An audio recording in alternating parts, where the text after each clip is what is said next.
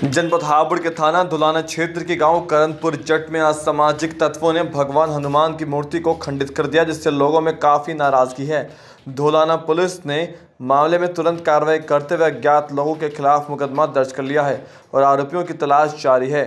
धोलाना प्रभारी निरीक्षक देवेंद्र विष्ट ने बताया कि बुधवार को कुछ असामाजिक तत्वों ने गाँव करनपुर जट में भगवान हनुमान की मूर्ति को क्षतिग्रस्त कर दिया था, जिसके बाद पुलिस ने तहरीर के आधार पर अज्ञात लोगों के खिलाफ मुकदमा दर्ज कर मामले की जाँच शुरू कर दी है।